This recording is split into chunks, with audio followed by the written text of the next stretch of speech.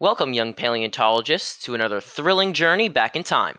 Today, we're venturing to the ancient lands of South America to meet some of the incredible dinosaurs that once roamed this fascinating continent. Get ready to explore the amazing dinos of South America. Our first stop introduces us to Giganotosaurus, one of the largest meat eating dinosaurs to ever walk the earth.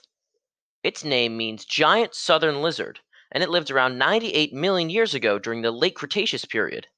Giganotosaurus was even bigger than T Rex, growing up to 40 feet long.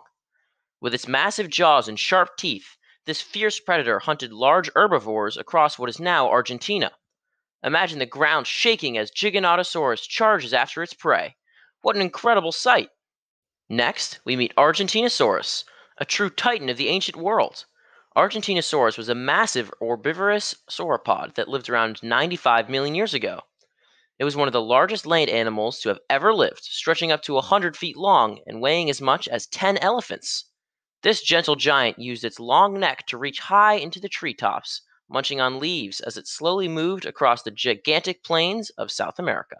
Now, let's take a look at Carnotaurus, a unique and terrifying predator. Carnotaurus, which means meat eating bull, lived around 72 million years ago in what is now Argentina. It was about 25 feet long and had two super short arms.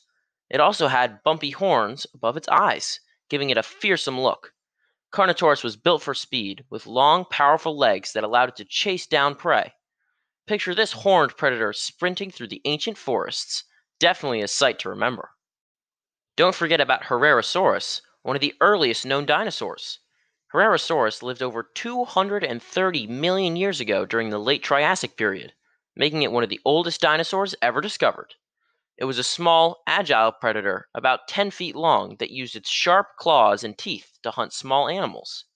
Herrerasaurus roamed the ancient landscapes of what is now Argentina, marking the beginning of the age of the dinosaurs. Even today, paleontologists in South America continue to uncover new fossils that teach us more about these prehistoric wonders. From the fossil rich plains of Patagonia to the deserts of Brazil, South America is a true treasure trove of dinosaur discoveries. So there you have it, young explorers, the dinos of South America.